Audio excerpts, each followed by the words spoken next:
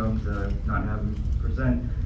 And I was like, you know, I heard of this Kyle Maynard a few years ago, um, related to mixed martial arts. And I remember he was also on online forums, paleo forums, um, just kind of posting, you know, anonymously.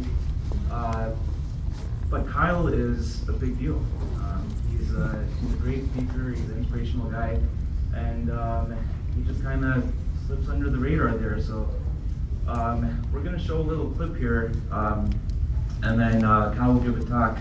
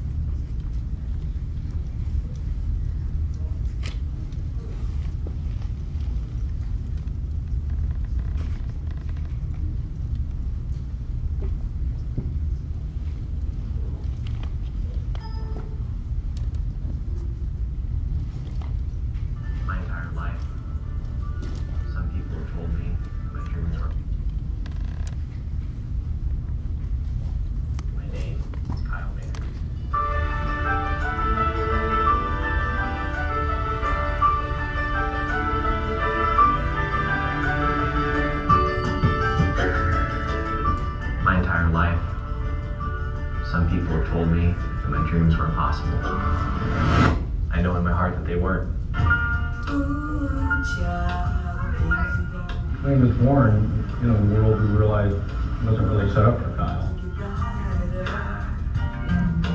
Forgive me for being so blunt, but it, it, it seems to me that if a guy like you quits every time he can't do something the first time around, you're going to be quitting at a, a whole bunch of things. Some of my dreams led me to break world records in weightlifting. Climb into a cage and fight in mixed martial arts. And crawl to the 19,000 foot roof of Africa.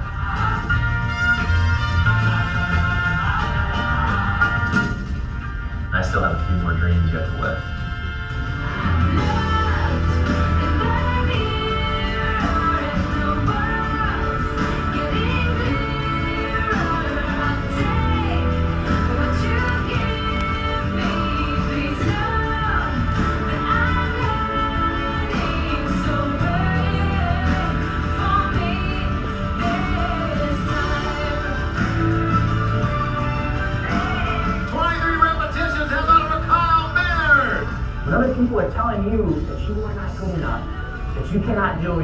Something, that your dreams are too big, that is a lie.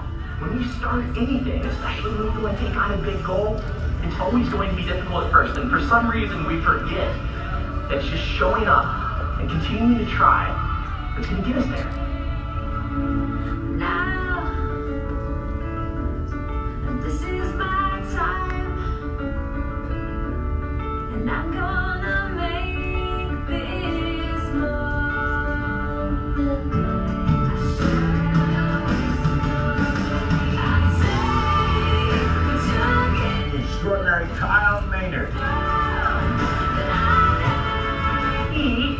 Of the most inspiring young men you will ever hear about.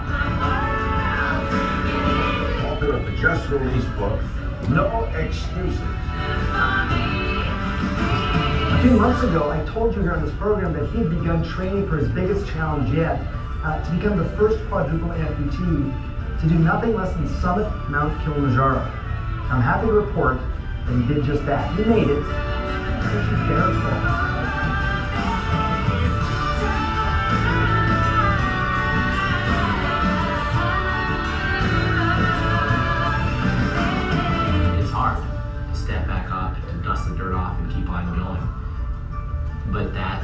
where you learn, you know, who you are inside.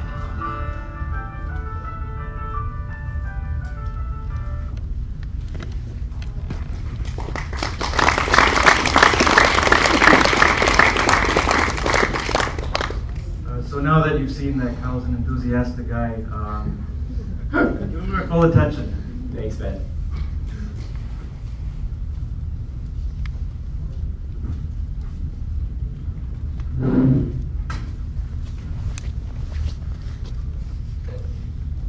My message is is probably one of the simpler ones to understand here, but I think it can also sometimes be the most one of the most challenging but yet rewarding parts of this sort of ancestral community. The message is to find your why. Why are you here on this planet? I believe, I think that our ancestors were very connected to that why, and we've got evidence you saw from the video that Pilar showed and, and from the, uh, the slide this morning um, from Mel Konner, the Mongongo nuts, if you remember that. Um, the slide, or the, uh, the video that the Pilar showed of, of the effort, the painstaking effort that people used to go through just to even eat, survive. And coupled inside this, I think there's a couple things going on here. The why to me is this attitude of, of self-achievement that is coupled with like a greater meaning and purpose in our lives. When we go in and aspire to do something that's way beyond our comfort zone, something that is difficult, that's challenging, that asks more of us, and yet we're doing it for this like greater good. And it comes back to almost this like gut level feeling. I don't know if you guys have seen a TED talk of how great leaders inspire action. I'm addicted to TED talk, and I got to profess my love to Dr. Wahls a minute ago for her TED talk. and it, it, even in our, inside of our brain, right? You've got the neocortex, outer layers of the brain, and the limbic brain is the deeper brain, deeper mind. Uh, that why that we talk about, this this purpose, is almost a, a gut level feeling that's hard to even articulate in words because it's actually the neocortex that regulates and, and, and helps us with language. The deeper limbic brains are the ones that control sort of this like unconscious, subconscious, whatever you let's call it, drive to to achieve, deliver something more. And yet, I think something that's just as toxic as gluten in our environment is this attitude of just sort of complacency and the status quo and comfort.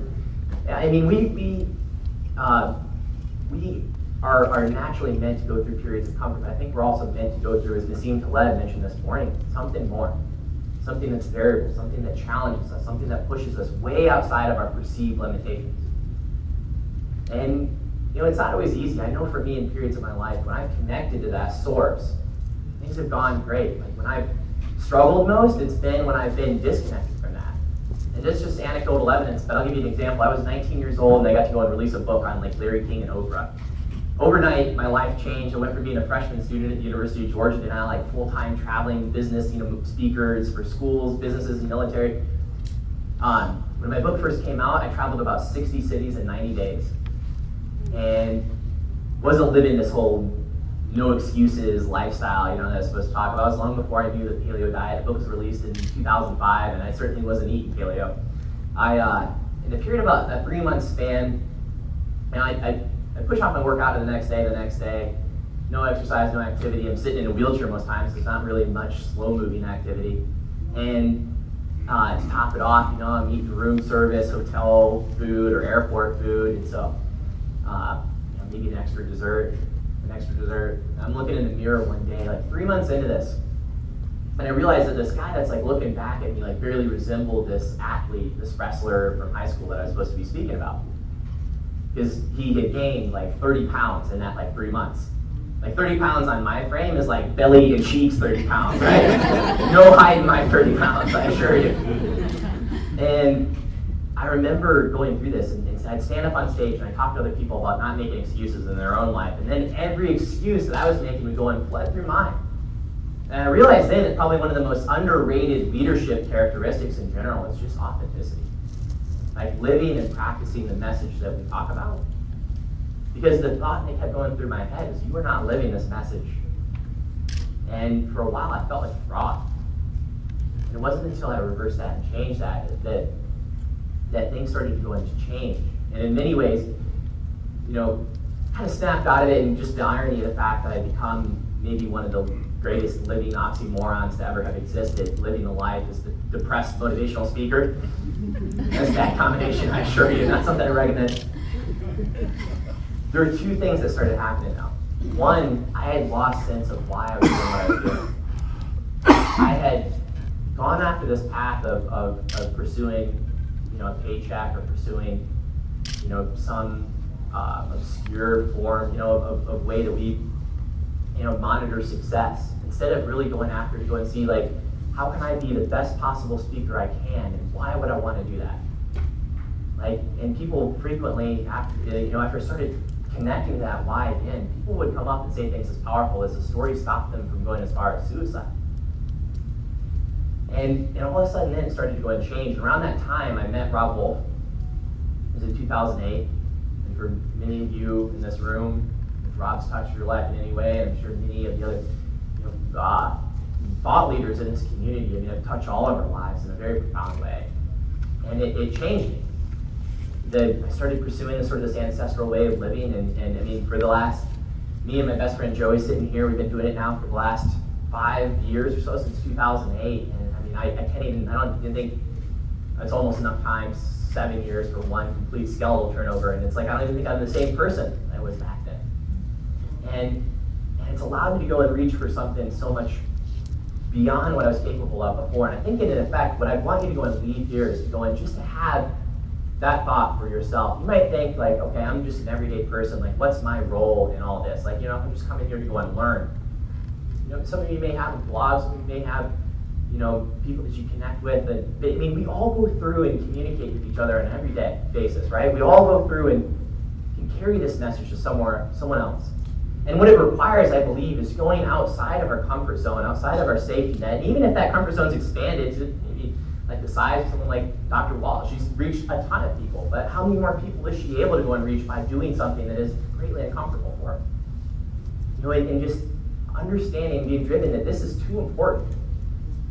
This way of life, this, you know, uh, this culture that we have, that we found, that we stumbled on, I think is, is, is one of the most important things I've ever learned in my life.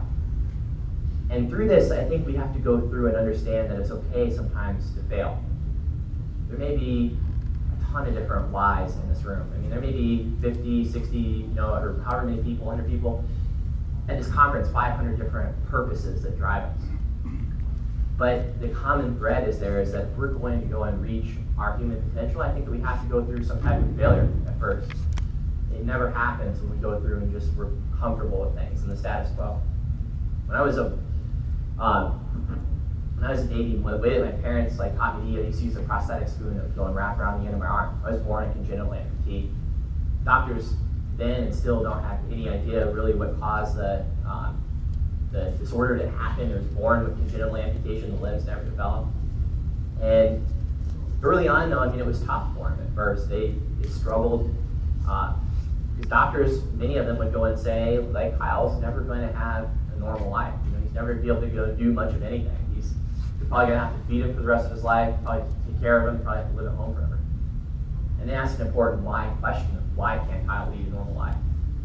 To do everything in their power to go and push me towards that. Because early on, it had to go through those failures a ton. The prosthetic spoon, though, that wrap around the end of my arm and use that to and scoop up food. We leave it at home and go out to eat at a friend's house or restaurant and not have it there. My dad saw that my mom or my grandma was feeding me when we didn't have a spoon. So he said the world's not tailored or set up for Kyle's every need. Like he's gonna have to figure out how to do this on his own. And so consequently, when I first learned to eat, just holding a spoon between the ends of my arms and kind of using my right arm to go and swing it around, my left arm to go and hold it the way I eat now, just with normal silverware. Like I had to go through with this failures a time, dropping it hundreds of times, over and over and over again, maybe a thousand times. And it, to eventually kind of figure it out. Now my life, there's not that many adaptations. If you guys get a glimpse, I live about 30 minutes from here, up in Suwanee, uh, northeast Atlanta. Three-story townhouse, bedrooms on the top floor. Only adaptation in the entire house is I have a stool to go and get up to the bathroom sink. I have two stools in the uh, main floor to go and get up to the kitchen countertop to go and cook. Uh, six months ago, I was a terrible cook, and I was like, I gotta fix this part of my life. And uh, I type about 50, 60 words per minute in a normal keyboard, just using the ends of my elbows to go and hit keys, type in a normal iPhone to text and tweet and all that. Uh, when I drive, I drive just a Dodge Durango. The only adaptations on it are just lifted up, extended pedals. I use my left foot to hit the brake, my right foot hit gas. It's a normal steering wheel. Put the seat up a little bit closer to the wheel. And sometimes I really freak my friends out when I answer my cell phone and I'm driving. or every now and then, too, coming around the corner, like a Starbucks or something like that, I turn to pass my credit card and like catch them off guard and so I'm like, whoa, freak out, throw rocks everywhere. But had they focused on something, had they focused on this path of the all the things that were wrong with the circumstance, my life would have been very different. And I, and I believe that to be the case for, you know, our hunter-gatherer ancestors. I mean, if, if they had only gone down the path, I mean, it's, we have to be real about the challenges that we faced, right? But if they'd only gone down the path of, of seeing the challenges and seeing the victimhood and woe is me, they would have never survived. We would never be here today. It is ingrained within us to be able to go and move past things, to, to be able to go and, and, and rise above the challenges that we're presented with. But sometimes now, especially over the last you know hundred years, we have gotten to become progressively more and more and more comfortable in our environment. Um, not that long ago, Robb Wolf shared a story about three plants that were on, on his podcast. One was, it was a, um, a plant that was just exposed to natural environment, sat outside. Another plant sat inside in, in a controlled environment, but was exposed to some stressors like sunlight things like that. Uh, I mean, even beyond that, you know, temperature changes. There was another plant though that had like a perfect amount of sunlight, a perfect temperature, and everything else. That plant died because we are not, you know, in, in our DNA, I believe it's we are not coded to just go through things properly. It's it's going and, and asking more. Like, what more can I go and, and do and live for? I could give countless examples. I don't have enough time for this necessarily, but it, when I was younger, with several things. Uh, wrestling, lifting weights, all this stuff, I lost a ton at first. I mean, you're a struggle. Wrestling, I lost every match in sixth grade. and started, hated the sport. Struggled with that. Before I played football, and I was actually pretty good. I was playing nose guard, defensive line. And running backs would come at me, and I just tried to take my helmet and smash into their shins as hard as I could. the whole thing is that the defense line is about getting lower than your opponents, and nobody's getting lower than me. so in wrestling, though, I lost every match in sixth grade. Halfway through seventh grade, still had not won a match. Weightlifting, I started with two and a half pounds on each arm in sixth grade, looking at these high schoolers in the weight room lifting, you know, 200 pounds in bench press, thinking like I'll never be able to go and do that someday. And it was, um, you know, even uh, with, as Kamal mentioned with the fight with mixed martial arts, I had um, people said some really harsh things. People said Kyle uh, is going to get killed in the sport. Do the first televised death. Get, you know, picked up and it out the cage. Someone even said, you know, behind anonymous screaming, come take a chainsaw and take my arms and legs so I can go and get on TV like Kyle. In all those instances, though, in wrestling, finally broke through, won that first match. And it changed everything. It changed that belief system. I fast forward to senior year of high school. Won 36 varsity matches and placed top 12 in the nation in my weight class. Weightlifting went from five pounds total in a bench press with ropes tied around my arms to gradually working up to lifting with chains. Had a personal best in the bench press in 2009 at 420 pounds. In MMA, for three rounds, the guy I went up against basically ran for me, didn't want to go to the ground. He get choked out. And as, as the fight went on, I'm sitting there in the cage and thinking like, you know, uh, all the people that said the things that they said would never go and get to experience a moment this beautiful. They found it easier to go and criticize me for my dreams and going out and doing something worthy of criticism.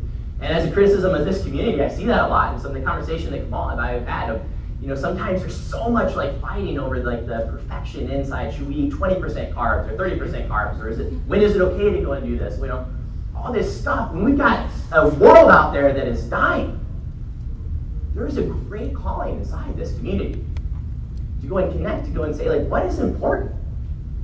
What is important? How can we each go outside of our comfort zone and help, you know, go towards that?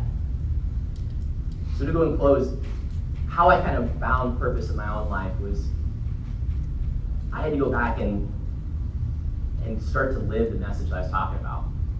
You know, the other half of not just doing paleo and, and, and getting my health together, but it was about you know, going on and trying to live for, for something more. And that, in fact, is what led me and Joey and seven of our other friends out to Mount Kilimanjaro. I had hiked 12 times before we took on Kilimanjaro. Because it used to take three hours to go and get my gear set up. I basically take, we take bath towels and uh, wrap around my arms and then wrap a mountain bike tire around that and duct tape everything together.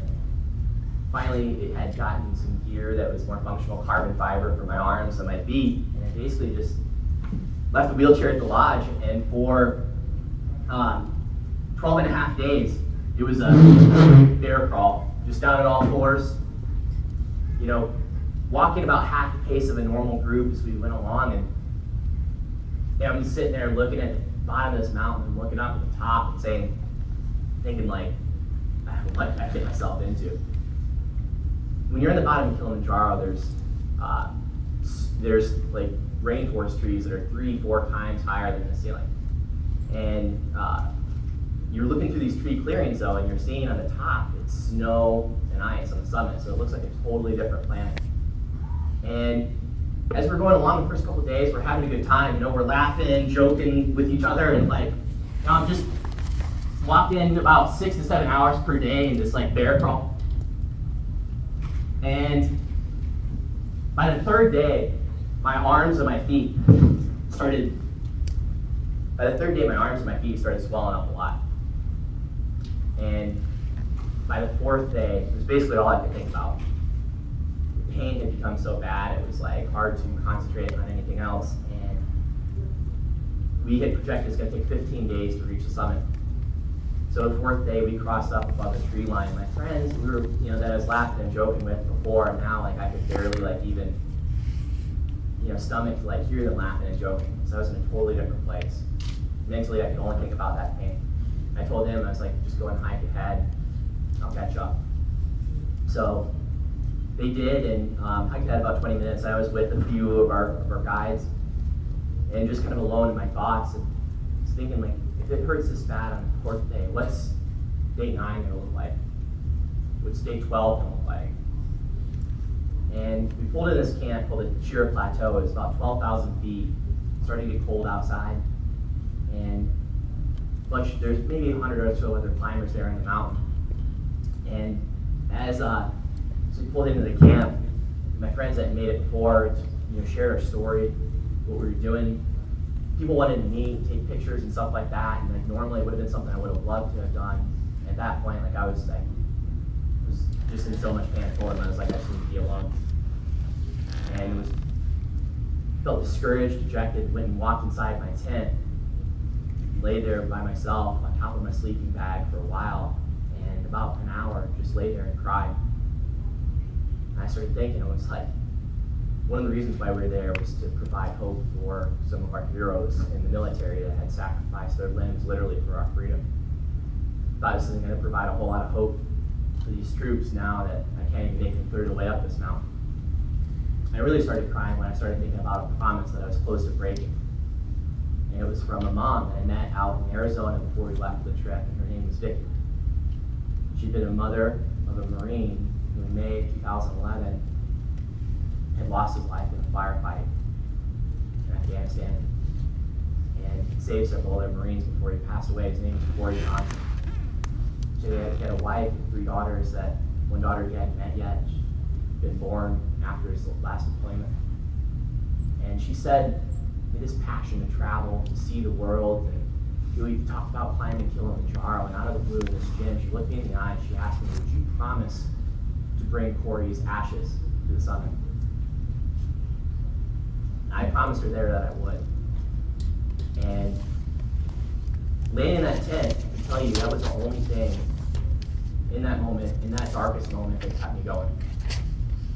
And I, I think in order for any of us to reach that potential and what we're capable of in our lives, have to find a why. Corey in that moment became my why. The pain didn't go away, but I, I got real with where I was, pain threshold wise, and I made a decision there in that moment. It was like, I'm not going to come back home and tell Vicky that I didn't make it. And so we decided to look at our alternatives and decided to go up and take a risk in a route that was called the Western Breach up the western side of the mountain that fewer than 1% of climbers on Kilimanjaro take. It's a route that's full of ice and snow, basically. So with a small ice pipe fitted for my arm, uh, the ice pipe in my right arm was kind of malfunctioning, and, smaller ice pipes for my feet. Uh, my right arm was basically useless because of malfunctioning ice pipe. I had three points of contact for the ninth day. We're taking on, we had to pass through 3,000 feet of ice and snow. So we're going along, and, and the rule of mountain climbing is to always have three points of contact down at all times. So I'm breaking this rule already without with my malfunctioning ice pipe.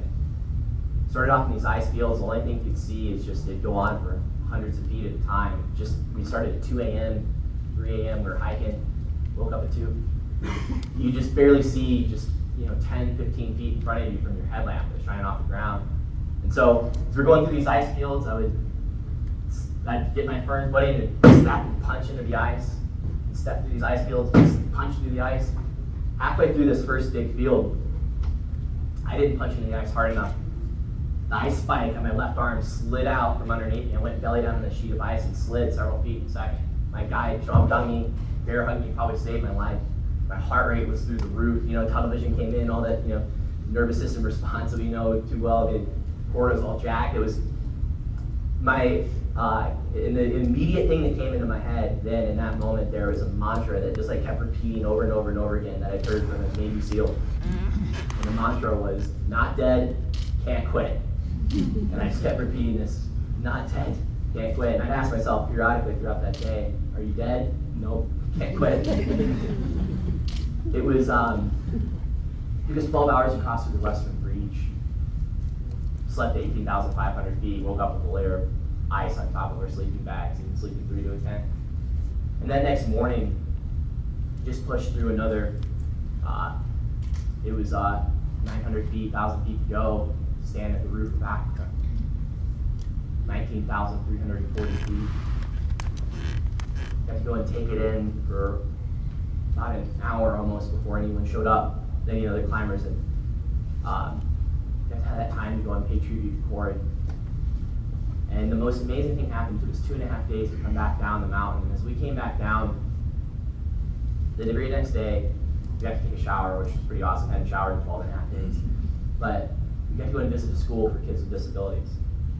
And at this school, there were about 80 blind students, 25 albino students. And these kids had been, because of their disability in Africa, were cast out of their families, couldn't contribute to the subsistence culture. And they were orphans, uh, unallowed to go to uh, private school because of being blind and albino. About 100 of them went and gathered around me, and I was giving them a talk translated to their headmaster in Swahili. And I was, they were about 10 years old, so I'm talking to them and you know, toned down a little bit. We were talking about climbing this big mountain in their backyard. The kids got so excited and fired up. They just like started spontaneously on their own, like chanting something like over and over and over again. And so I was like, asking their headmaster, like, what are they chanting? What are they chanting? They're chanting in Swahili. So he has them start chanting in English. And what they were chanting was, anything is possible. Anything is possible. Anything is possible. I sat back there though, and I was like reflecting on that, and I was like, I don't think this would have been possible for me if if I didn't have like Corey in that moment becoming my wife.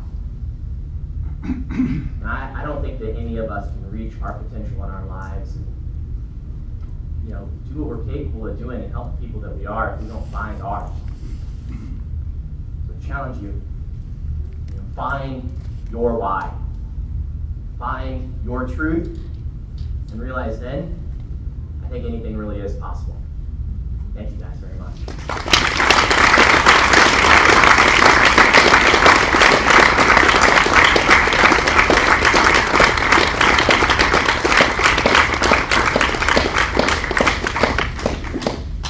I'm guessing there might be a question or two, maybe. Um, if you have a question, then line up here.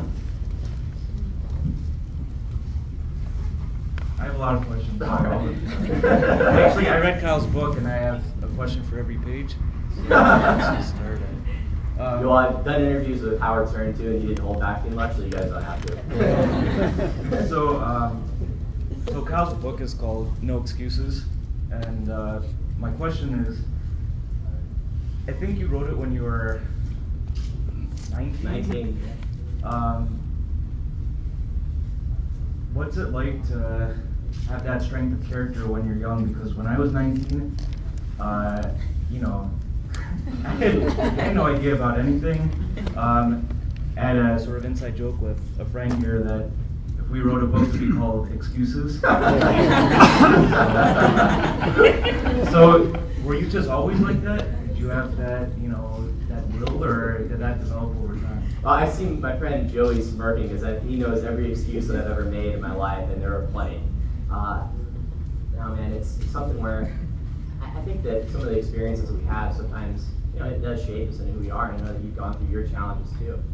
And everybody in this room has got some type of disability, some type of challenge. For me, you can look at me and see that I was born a little bit different, and I can't look at you and see your biggest challenges. But I think it is one of the one things that kind of unites every single person on this planet. So we all have something. And the coolest part, I think, about this ancestral community is that like a lot of us are brought here as a consequence of a challenge. You know, whether it is some type of autoimmune disease that you would never be able to see on the outside until maybe the later physical manifestations of it, but it, it, it causes us to go in, in that, you know, sometimes darkest moments, like introspect and to grow.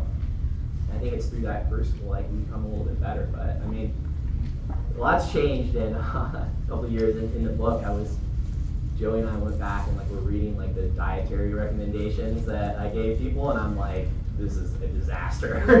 There's got to be a revised version right now.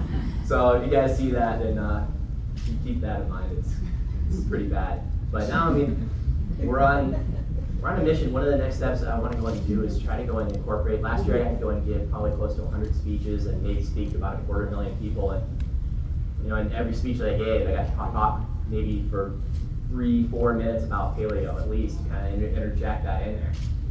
And it's been so cool to see just like the growth that this is like the rise that this is having. And, and before five years ago, no one had any idea what it was, right? And now it's like we're we're making headway.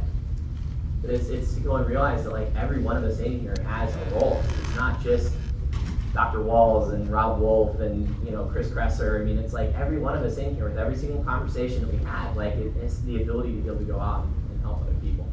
And it's through our experience. And sometimes those vulnerabilities, those challenges that brought you here, like those can be some of the greatest gifts that we've ever been given. So uh, if nobody else has any questions, Kyle will. Oh, there's one.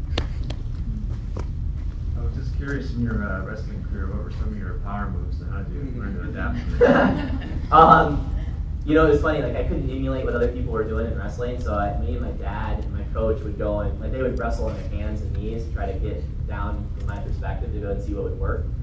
And um, I remember the first match that I won, and it was like uh, grab the kid's arm and like just like managed to like flip him and land on top of him. And like I was more shocked than he was. and actually, the funny thing was, leading up to that, in sixth grade, so I said I like, lost every match. In seventh grade, I had lost every match halfway through that season. But prior to signing up in seventh grade, my dad sat me down and had this conversation with me. Yeah, I knew that he'd been a successful collegiate wrestler. And he said, I want you to know something. He said, when I first started, he said, I didn't win a single match my first year either. He said, hardly anybody wins a match their first year in wrestling. He said, but everybody's going to go and every, every, you know, first year person has to go up against a second year person. So he's like, if you sign up this year, you're going to find somebody who's their first year and you're going to beat them. And uh, so I believed him and signed up. And I was just interviewing people for my book. I was interviewing my grandpa, my dad's dad, for this book. I asked him, I was like, what was it like for my dad losing every single one of these matches his first year? How did he deal with it? He was like, what? That was a complete lie. but it was an effective one. I probably wouldn't be here if it wasn't for it.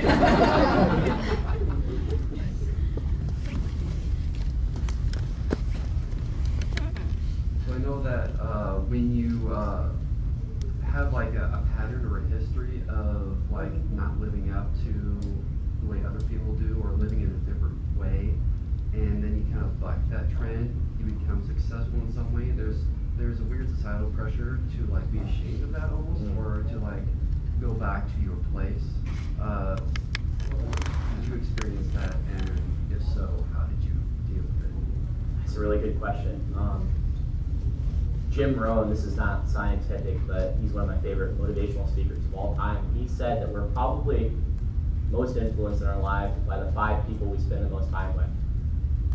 And, I think it's true that sometimes when we do go and expand and sort of transcend where we were before, sometimes it exposes almost like a mirror, exposes other, other people's vulnerabilities and sort of expresses their their challenges or, or you know, weaknesses, whatever. And I think it does also like, probably some evolutionary psychology protective mechanism going on there, right? Like we go and expand ourselves and go and expose ourselves to failure. Well, failure in a hunter-gatherer world would have meant death. And we've got to realize now that that barometer is different. And in a lot of ways, we have to kind of find it from within. And I'm really glad my grandmother, especially, she used to teach me that randomly in grocery stores. And she would go and take me, just help me be comfortable with myself, and go and take me and set me in the front seat of the grocery cart. We'd go up and down the aisles of the grocery store and just practice meeting people. going out to reach out and shake their hand. Some of my friends that I've already gotten to meet here, you guys know when I meet you, my first instinct is to reach out and shake your hand. It's what she had taught me. And it was, uh, she said once people can hear your voice, can see your face, they can shake your hand, disability will fade away. Something, something they'll think about. And I'd say 99 times out of 100, it goes over really smooth without a hitch. I'll reach out and shake somebody's hand and get like a normal handshake back. There is like one time out of 100, I'll reach out and shake somebody's hand and just see them like freeze and panic. They're like, whoa, what's going on hand? What does he expect me to do? And I'll say, I'll wait. Eventually they'll come in like a fist bump or elbow tap. Making up some secret amputee handshake on the fly. But I think it's, that we have to realize then that, you know, we, we are the ones that get to go in to choose every moment, every day, whether we go on that path of living up to other expectations or if we go in and, and you know, and, and, and are guided by the people that lift us up, but also to just ask a little bit more of ourselves. Just to question, like, what is really possible in my life if I sort of let go of some of these excuses and all this other stuff and all those other limiting beliefs that other people have about us? I think it's, it's a really important thing to introspect. It's, it's a really cool question. Actually, I have another. Um, so, when you're doing something challenging like uh, climbing a very large mountain, um, I can't relate to that kind of thing, and I'm wondering, since you do that sort of thing a lot, do you have a method to relax um, or to, you know, um, whether it's sitting, watching TV, or meditating, or I don't know what, um, to make those things easier? Yeah, you know, it's the crazy thing is like, I mean, in my life, I, I think I, I will spend a significant amount of time. The whole like idea of like the sun, you know, being down for like 14 hours in the, in the winter and it being dark outside, like I, I tell myself that all the time when I want to go to sleep for like 12 hours straight. Uh, I, I do you think it's such an important thing, right? It's that natural like ebb and flow of life. It's not about resisting and being motivated every single day to go and achieve things. Realizing that some moments you just gotta take a step back and you know and kind of recollect, refocus. Frankly, it's the people that pretend to be positive 365 days a year that are like the hard chargers all the time. Like those are the people that really freak me out. Those are people that are hiding something serious, you know. I think it is such an important thing, and just to be able to enjoy this path that we're on. But sometimes, in order to get to that place of enjoyment, we have to go through that period of being uncomfortable first. I mean, give you for instance, if you're in a job that you can't stand, you know, and you go to work every single day and you spend so much of your time doing that, it might be comfortable to go and stay inside that job. But what stressors is that causing on your life at an unconscious level that could be changed as a consequence of pursuing something greater? Might be fearful to go out and to go and take on and do something new, but and it might be really difficult at first. But I don't think that that's necessarily a bad thing. I think as long as we really love and passion for what we're doing, then it that entire uh, perspective changes. So, um, Kyle will also be uh, hosting a workshop on uh, a combat movement session that might be full, but uh, it's at 9 a.m. on Saturday. So, what? Um, now we'll break for